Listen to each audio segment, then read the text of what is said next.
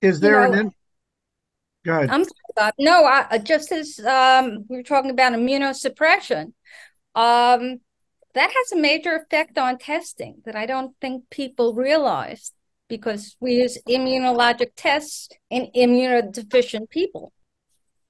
Um, and I think the public doesn't realize that. Perhaps uh, you guys would like to talk about that a little. Just the nature of testing. Well, testing takes, it takes two to tango. Go ahead, Carson. Yeah, um, testing could be definitely very challenging, but you know, um, I want to remind you that in most of the medical books, um, if you open the chapters for uh, some of these infectious diseases in the introduction, it will uh, be always mentioned. Uh, first of all, it's a clinical diagnosis. Um, yeah, um, um, I guess this is uh, definitely the case for Bartonellosis. That's the case for uh, many of the uh, patients with Borrelia infection. And uh, it's also mentioned if you are lucky, you can get confirmation by doing lab tests. Yeah, and this is exactly what it is. So I guess there's also um, uh, uh a big widespread of uh, information uh, for the overall majority of uh, of our colleagues that they are believing 100% in the outcome of testing, and this is definitely um, something you don't have to do because um, there's always some uncertainty with any forms of testing. So without uh, some genetic testing where you have, let's say, an outcome of 99% uh, specificity, but this is completely different for most of the other tests.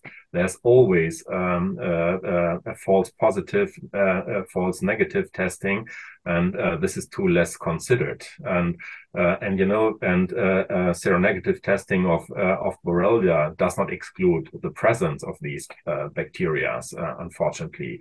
So there are many, many reasons which could lead to seronegativity in the testing. So um, uh, you have you have um, um, correctly said sometimes immunosuppression can lead to a negative outcome. Yeah, uh, that's that that's for sure. So uh, nevertheless, we need um, um, we need diagnostics and um, uh, there are definitely some uh, legal requirements to run tests like the two-tier testing, which I don't uh, like very much uh, um, uh, um, uh, with a starting test with an accuracy of 50%. You can flip a coin getting the same outcome, more or less. Yeah. Um, so, um, so um, uh, it was not uh, uh, legal, but um, from a certain time on, I ignored completely the ELISA testing. I have to say in Germany in my in my former practice and then in the clinic. Um, so with uh, um, that um, big uncertainty um, of the outcome. So the Western blot is definitely much better. So uh, we have an accuracy, let's say, around about 80. And uh, if you have a very qualified uh, manufacturer, 90% or might be 92, uh, 92, but there's always something missing. Um, and um, so what I've learned over the uh, three decades now being in the field is you can um, minimize the risk of missing um, uh, uh, the infectious diseases if you choose right from the beginning different techniques. Yeah, so um, uh, you can go for the antibody testing for some uh, some infectious diseases. Sometimes you can use PCR testing or T cell spot testing, whatever it is. So, but if you use different um, uh, types of diagnostic tools, you have a much better chance um, of uh, getting the detection. Well, I think the doctors are um, treating the papers and not the patient. Yeah. It's hard to accept that with most things, the test is confirmatory and it's seen as a gold standard. with Lyme disease, a positive test doesn't mean you have it, and a negative test doesn't mean you don't have it. That should be a disclaimer on this testing, but it requires complex interpretation. It's, and I people think that that way that and it's hard for in what other illness can you say that that the positive test doesn't mean you have it and negative test doesn't mean you don't have it? What other what other condition illness that we treat is that true? I think i only see that with probably this. more than probably more than we realize. Yeah, yeah much more. Yeah. for example epstein-barr virus if it's positive it doesn't mean that you have it it means that you had it or you have it.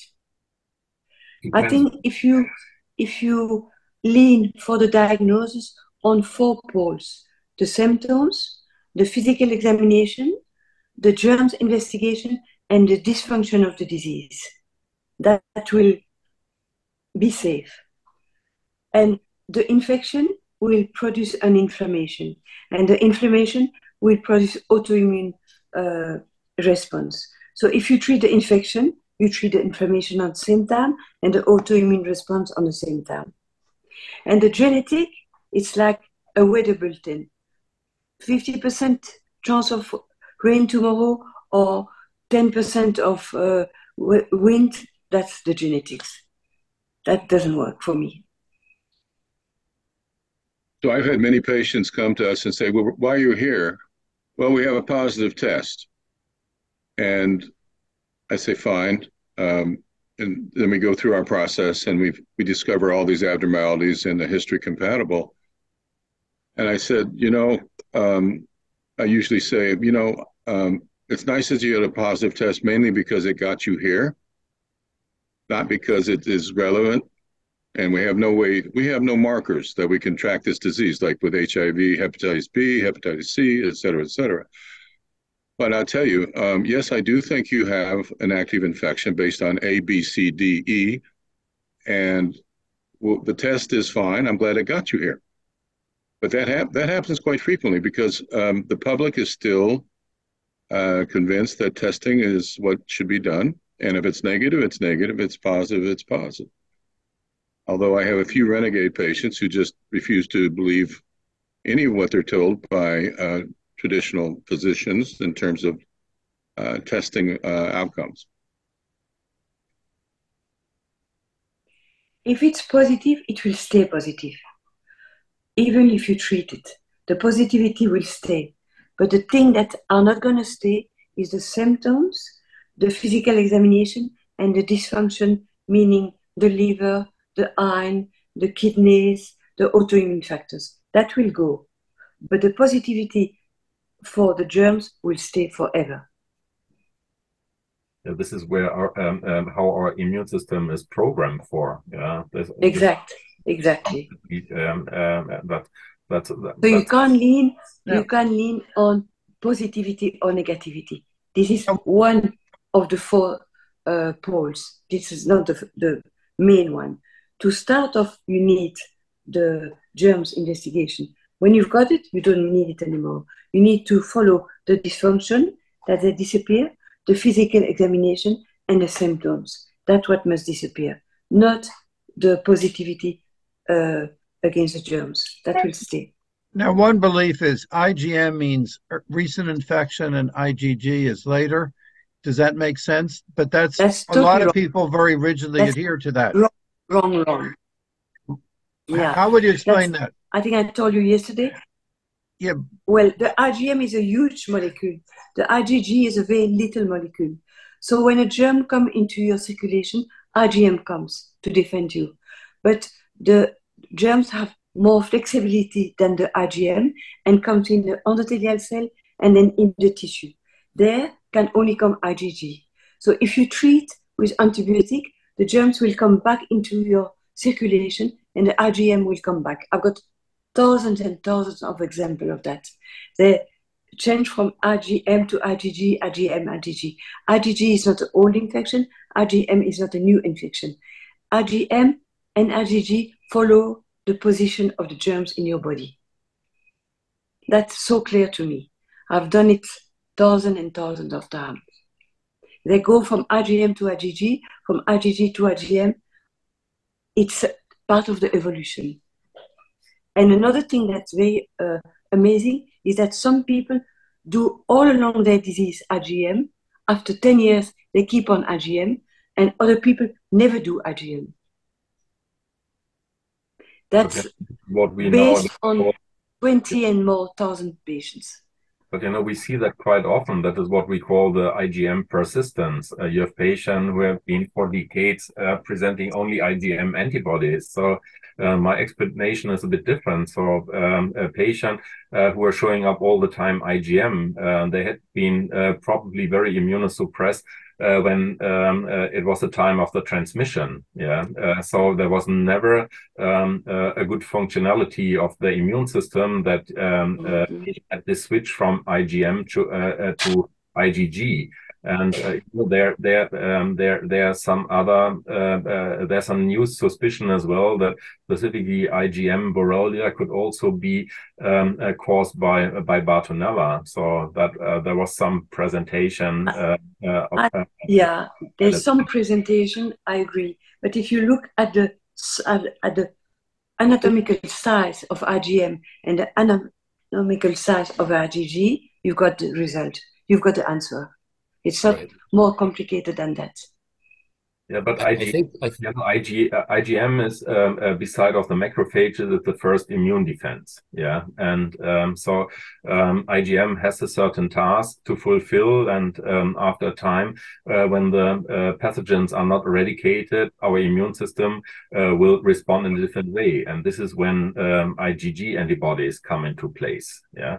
So uh, I have some doubts uh, about your uh, your hypothesis. Um, so, um, but I think the point is the point. The point is that we have imperfect diagnostics. An antibody test, whether it's negative, positive, IgG or IgM, is is kind of helpful for us.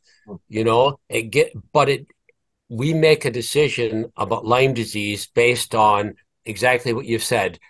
Does it fit? Was there a hit, the appropriate history, the, the appropriate assessment, clinical examination, and then finally response to treatment? That we are clinicians. We don't depend upon the IgG, the IgM, and it's not unique to have an IgM stay persistent for years.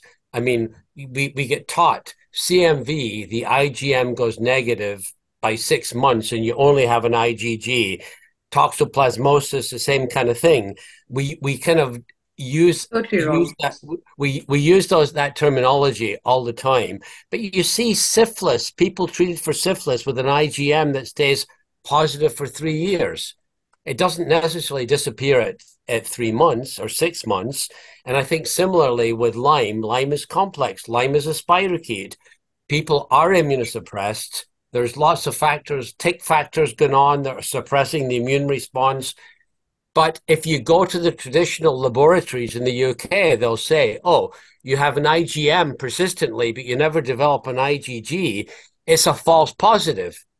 So laboratory, the, the laboratory tests that are used in many places are so strict that they almost they miss most of the Lyme cases and even the, the true Lyme cases who are antibody positive, the laboratory reads them as false positives. And then the GP says you don't have Lyme disease because your test is negative or your test is a false positive. and they should be treating people based on clinical assessment. You, we can't depend upon the current laboratory testing because we don't have good PCRs that prove live replicating Borrelia. It's a clinical diagnosis. And we are good at that, I think, as Lyme literate physicians, but the doctors who are seeing most of the patients, the primary care doctors, are totally missing most of the cases. But you know, and this well, is the problem. The test, part, the test is part of the diagnosis. The test is just a part of the diagnosis. Yes. Mm-hmm. It's just a one one fourth. It doesn't it doesn't make the diagnosis. And also you speak again about Lyme disease only. Then you you will miss it. The, the bad part of a bad diagnosis. Mm-hmm. You know, this is important that uh, we are coming together uh, like uh, today. Yeah, you know, who who have done the like uh, the guidelines. These are the the so-called KOL exactly the guidelines. And, and exactly the first discussion I had in Germany was uh, two of these guys, uh, two of three um, who um, uh, um, uh, are still responsible for the guidelines. And when we talked about how many Lyme patients they have seen, and uh, both of them mentioned, so uh, chronic Lyme isn't existing. We have maximum seen 20 a year. So how can someone um, uh, judge about chronicity uh, who have never seen the same numbers as we see on a daily basis? Yeah. Collective, collectively, how guy- many Lyme patients have the six of us seen? Many thousands. And probably a lot of the people that write some of these guidelines collectively, the long term care of these patients, it may be a handful. Yeah.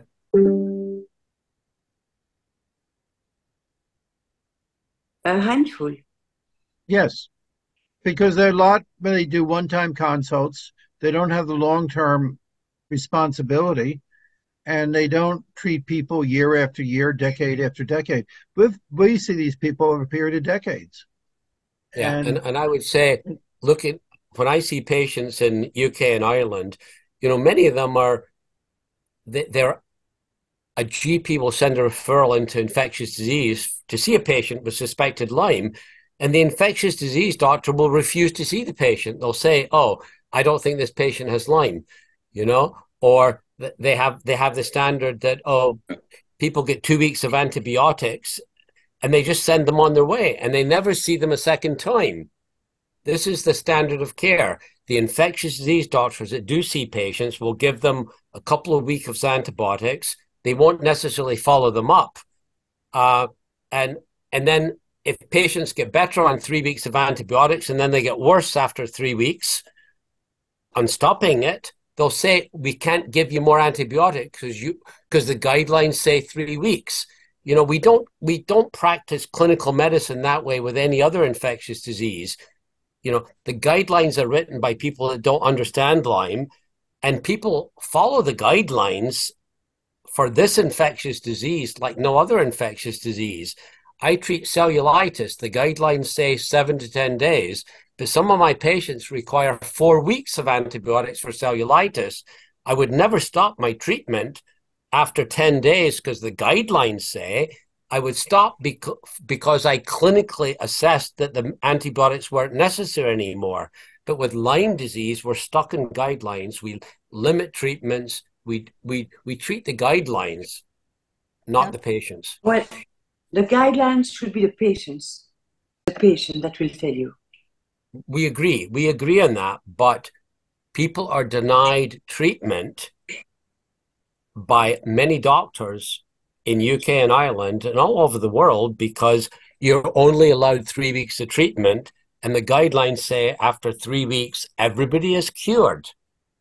And it's dangerous to treat with longer course antibiotics, and there's no evidence of benefit. This is the mantra that goes around. And this is the situation that patients are caught in very often. You know, we should listen to the patients, but these doctors are not listening to the patients. So, if it's dangerous to treat more than a few weeks for Lyme disease, but yet if you have acne, oh, people give antibiotics for years. I was going to say, uh, how can how can people reconcile that disparity? Which has more disability and impairment and risk of death, acne or these tick-borne diseases. Yet there's that restriction that's quite rigid with tick-borne disease that doesn't exist with treating acne.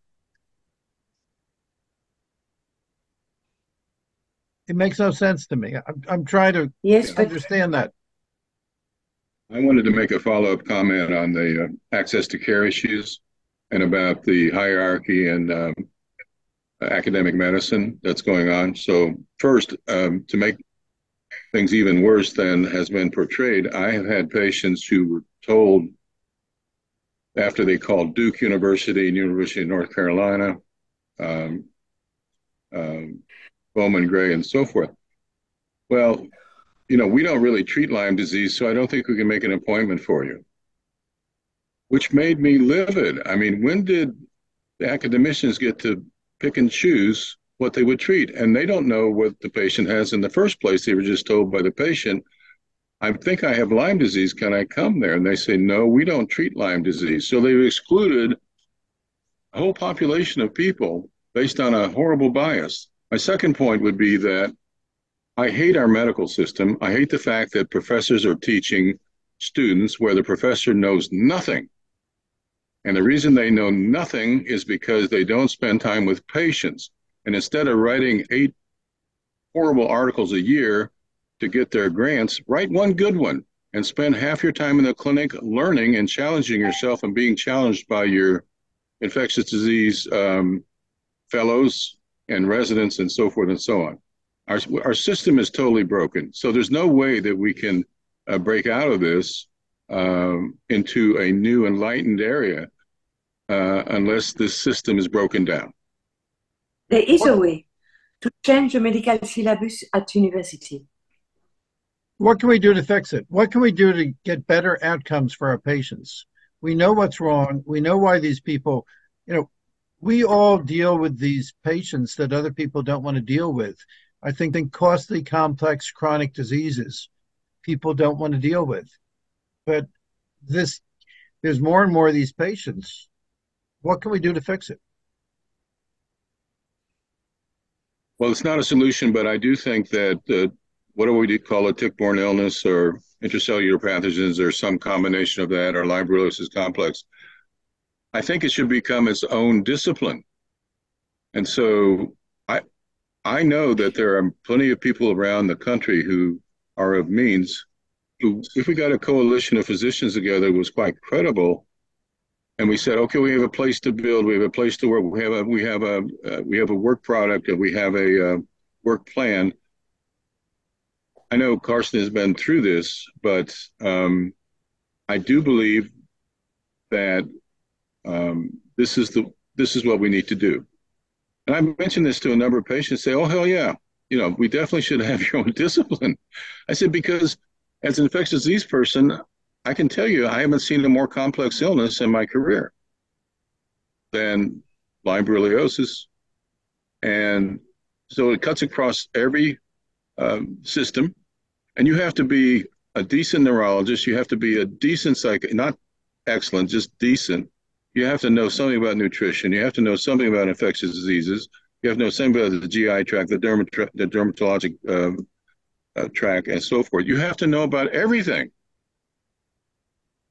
to be a, a good clinician. And you know, that's not to say we don't listen and partner where we can to learn, but a lot of times we teach the consultant. You know, they look at it and we we teach them. So um, there's got to be a place on earth for such a complex discipline, which is multifactorial, which is multidiscipline. I think getting spe- super specialized and and yes. algorithm medicine hurts things, so it's hard to deal with something with this complexity. Like like when you get Lyme and COVID, you know what what's the interaction, or or COVID vaccine or booster, is there some interaction there? It, what what was your experience? Yeah, what did you yeah. find with uh, boosters? You had some experience with some of your patients with the COVID. Boosters. The, the booster contains graphene. Graphene is a huge molecule that blocks all the circulation. The spikes as well will attack the endothelium cell. So all your chronic, uh, uh, chronic germs will be reactivated. So they were maybe just carrier, and now they become really ill with that. But, getting back to the question of just the COVID, the interaction between Lyme disease and, and COVID 19, I mean, COVID 19 is a virus that is immunosuppressive. You know, patients, the patients that we often saw sick in the intensive care unit um, with COVID 19 had lymphopenia, low lymphocyte counts, you know, and and 10% of them ended up getting viral reactivation in the intensive care unit. This is studies from Dublin. You know, they had herpes reactivation, they had VZV, chickenpox reactivation. We in the ICU we actually did uh, blood PCRs for CMV and EBV. Some of the COVID 19 patients had reactivation of CMV by PCR, reactivation of EBV. So, anyway, COVID 19 is an immunosuppressive virus, and I follow up long COVID patients, and some of them have CD4 lymphocyte counts of 200, 300, similar to many of my HIV AIDS patients, you know? So there's an ongoing immunosuppression that we're seeing with COVID 19. And I think many latent infections can reactivate. And, and you know, chlamydia is a latent infection, mycoplasma is a latent infection, Lyme can be a subclinical infection, Bartonella can be a subclinical infection. So I think, I think there is the, I think we're probably going to see more reactivation of latent infections in the setting of, you know, COVID nineteen induced immunosuppression. And I think Lyme is probably part of that picture. And I've had a number of Lyme patients that I thought were cured, back to work, exercising, full activity. They got COVID 19, and all of a sudden, all their Lyme symptoms came back again. And I treated them again with antibiotics, and they got better. So there probably is some subclinical latent Lyme disease out there in the community. And I think when people get COVID 19, there's a high risk of reactivation of multiple viruses, multiple bacteria pathogens, including Lyme disease. I would totally yeah. agree with that.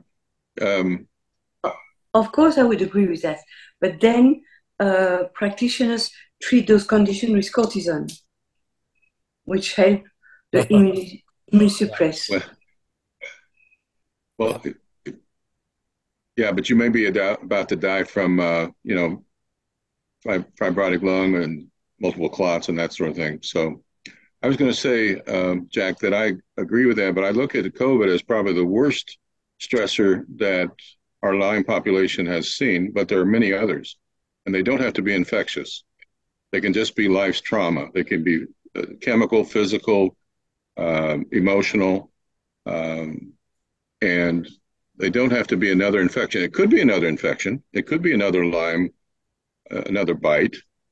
But um, I've had the same experience uh, destabilization of patients that were almost well and starting to get their life back and just totally destabilized. Also, people coming in or at least telling stories that sometimes about um, the fact that, uh, well, I was, you know, getting along, just feeling good most of the time, little joint pain. And I got uh, I got the booster. Well, we're talking about the vaccine now, not the actual infection, but they both create issues, uh, perhaps for slightly different reasons. Destabilizing a, large chunk of my population and bringing new patients to the clinic. So um, I'd be interested in your thoughts on long COVID, Jack. Um, well, you know, I, I, would say the same thing. I, I see patients with long COVID from COVID 19, and I see people with long COVID from vaccine, COVID 19 vaccines. You know, there's a lot of similarities in terms of the symptomatology of patients with both. So, you know, I, I think, you know, COVID is, has, and COVID vaccination has kind of added more challenges to our work, I think. Absolutely. Because we're seeing, I think, many more cases, many more relapses. You know, um, I, I think I think COVID has played a role in immunosuppressing the population of the world. I think over the last three years.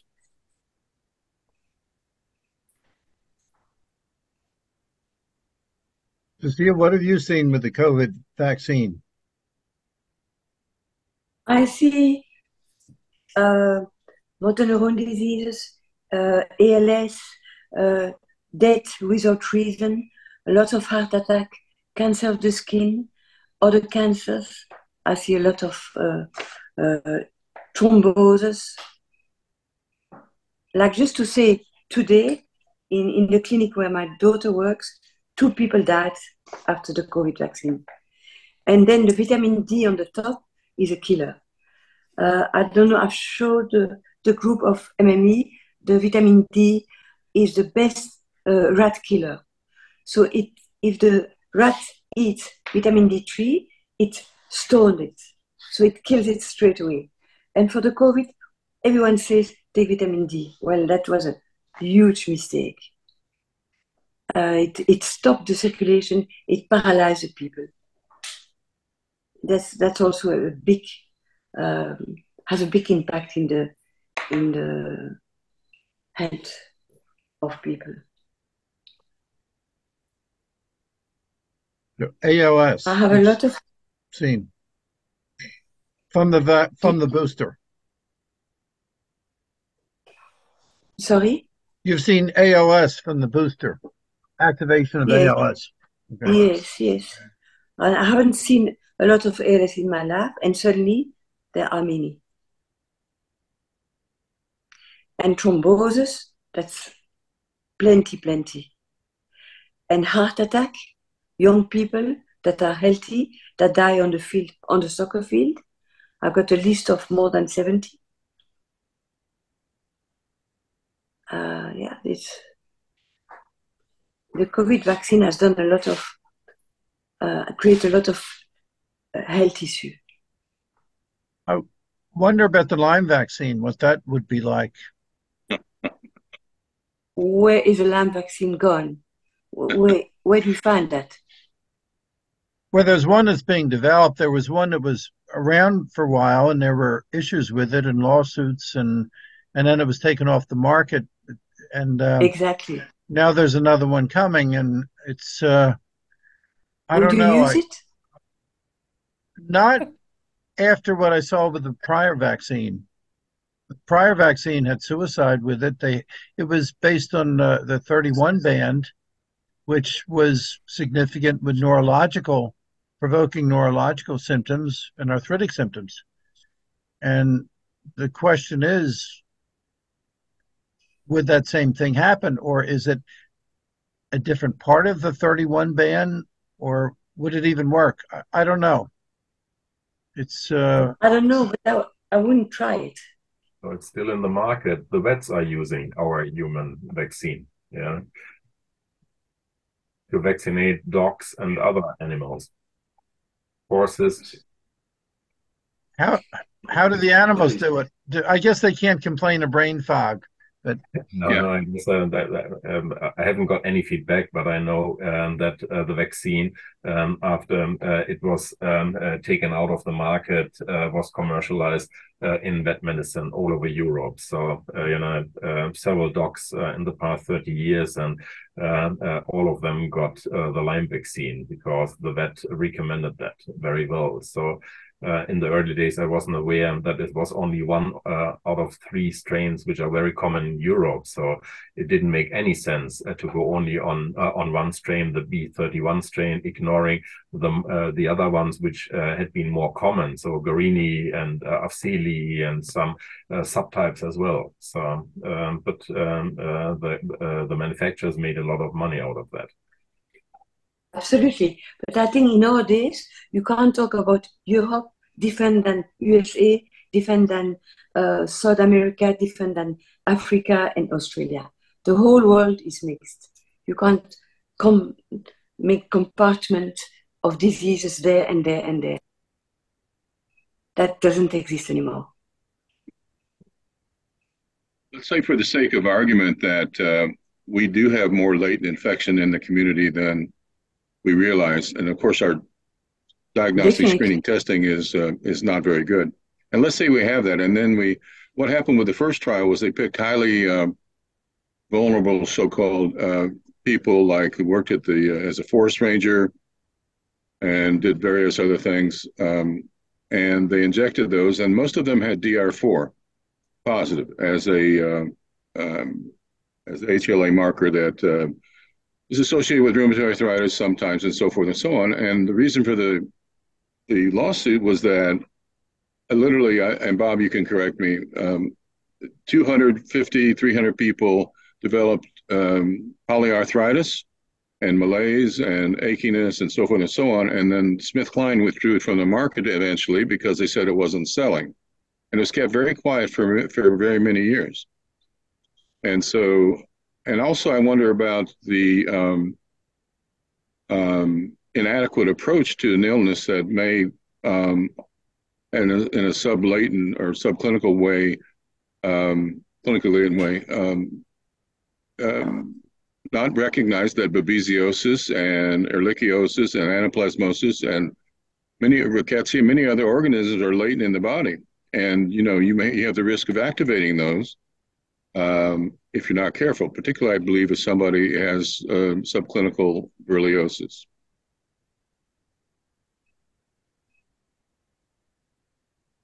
It just it's not just Borrelia burgdorferi B31 strain. It's complex infection. So it might give a false sense of security.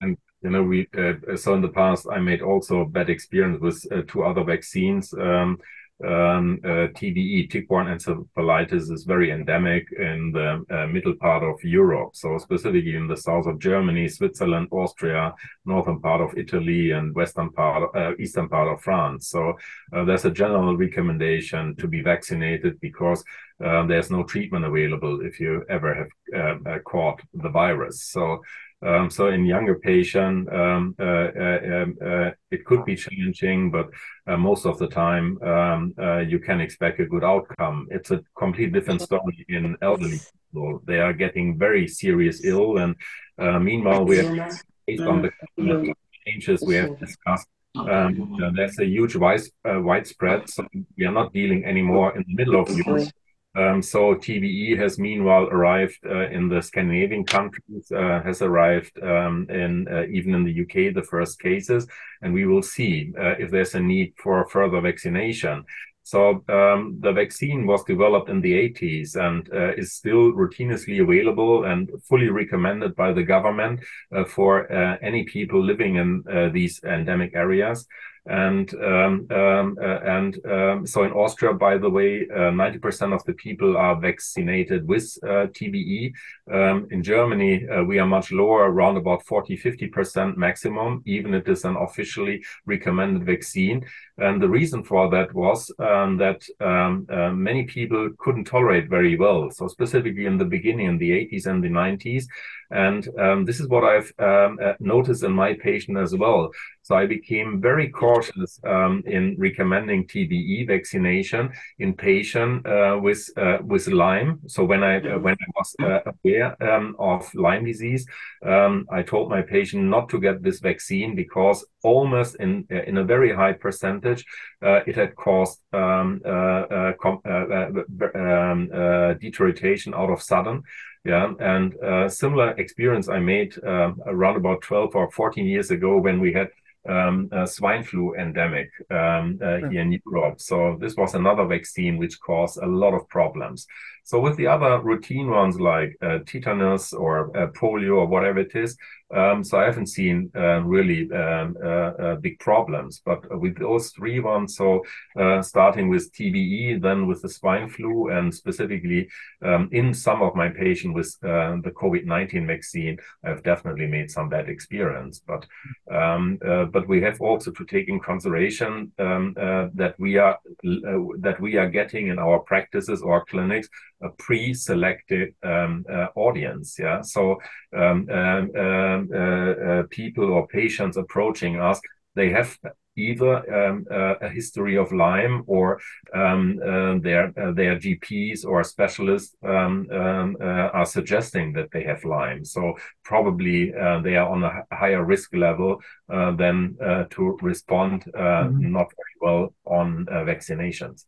Right. Now it's kind of getting late, so and it's particularly in Europe there or Africa. So yeah. maybe we could just do some closing remarks that any of you would want to make to summarize what you'd want to share, having the experience that you have.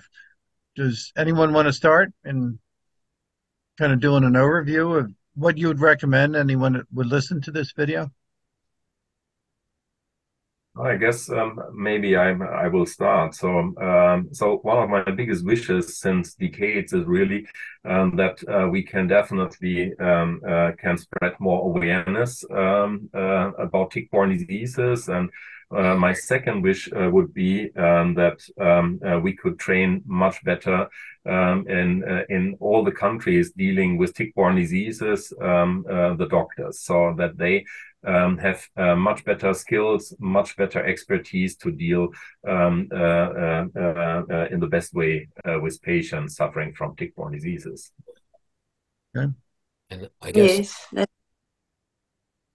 uh, to to inform more doctors that would be the best thing to do, uh, because there's no knowledge of uh, infectious diseases everywhere in the world, and I would avoid to say that there are endemic places and epidemic places. It's everywhere in the world. I've got patients of all over the world, and it's the same the same story. It's not Africa, it's not Europe, it's not the USA. I've got them coming from everywhere every day. So this is not true that the disease belongs to a, um, a country. This is not true at all anymore. This was confirmed by the uh, study last year, uh, published by the WHO. Yeah. Finally. Oh, well, so I see I, patients. Yeah. I don't read publications. So, so, you know, I guess my my comments really are that, you know, I think we need to go from bed to bedside. You know, we need to kind of span the whole spectrum of where we can impact on Lyme disease. And I established a, a, a charity in Scotland called the Lyme Resource Centre. And we're focusing on signage, going out in the community, letting people know that there are ticks in Scotland, because most people don't even know what a tick is. Pe- most people don't know that ticks carry Borrelia and other infections.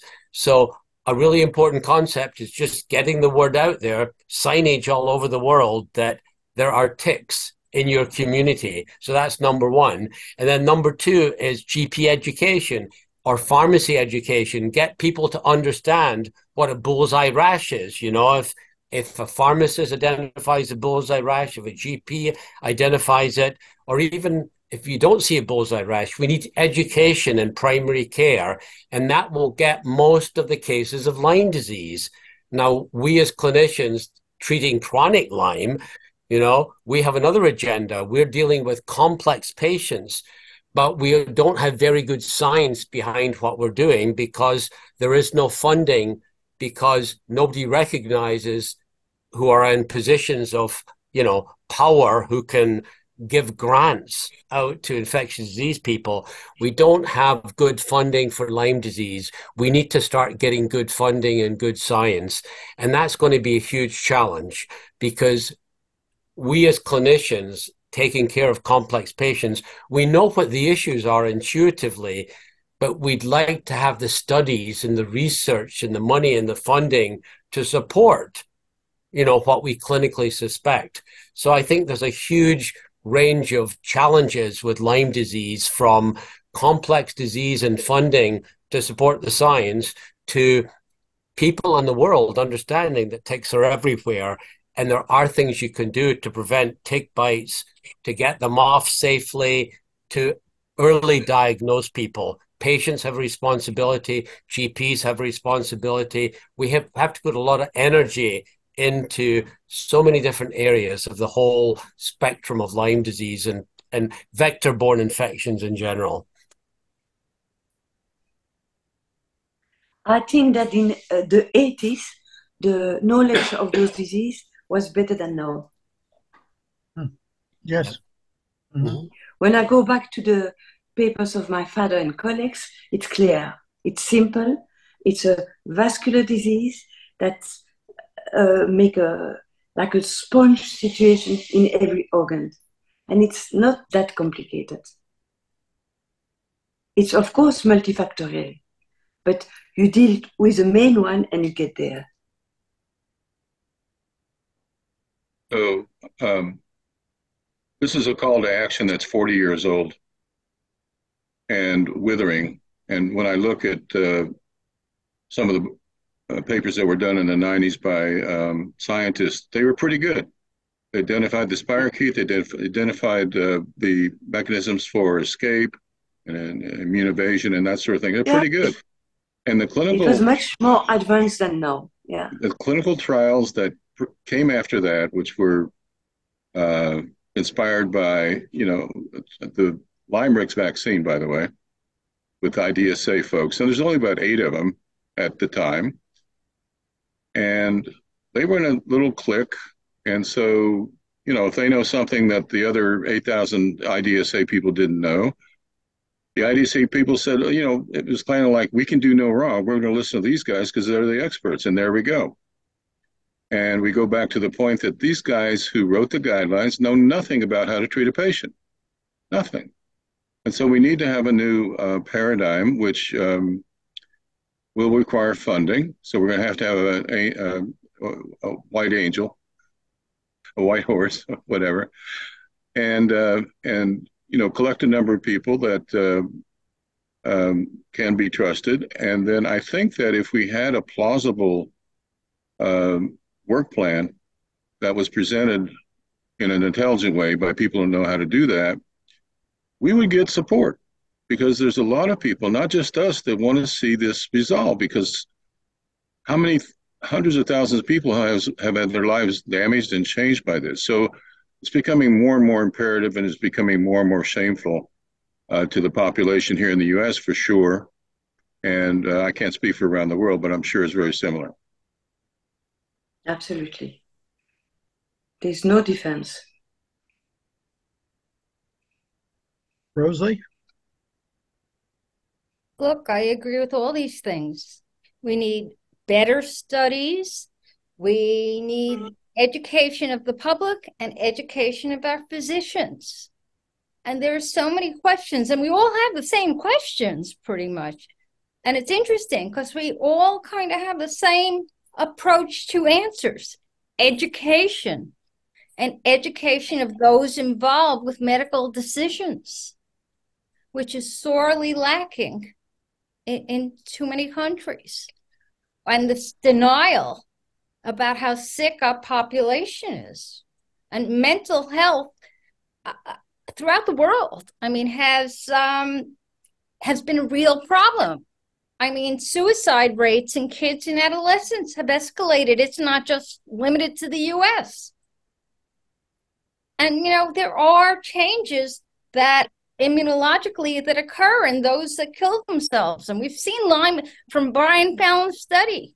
If you look at his study very carefully, you'll see that the kids were really affected in terms of uh, mood disorders and suicidality.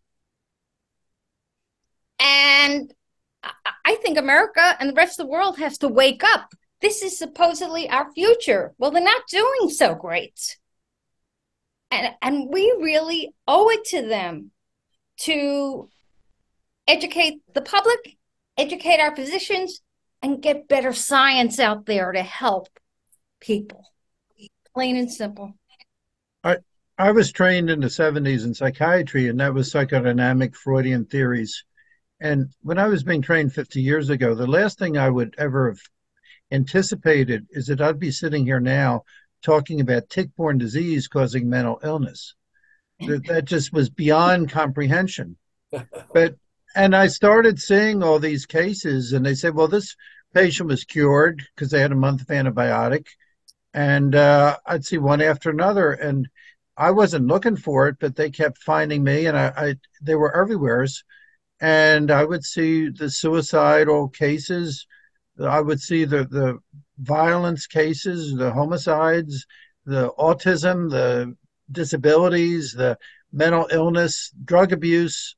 And once you see it and you, you recognize it, you can't stop seeing it. And it seems overwhelming. And then I would talk I would talk to my colleagues and I say, listen, I'm seeing this. Am I imagining this? Are you seeing this? So I met with other psychiatrists and other psychiatrists said, yeah, we're seeing it too. And uh, then I met internationally with other people and I heard the same story. So it's not just a local thing, it's global. It's a global problem that somehow the world is blind to.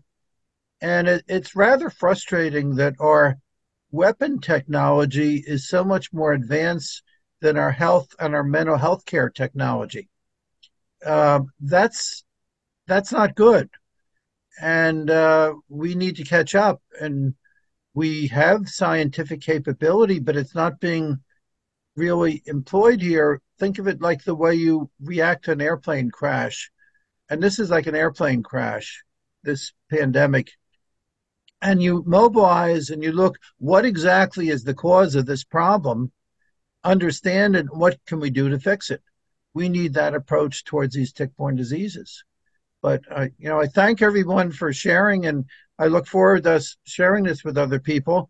And uh, thanks for your time and I, I appreciate everything and let's hope that this helps people. And i think we have but we have a lot further to go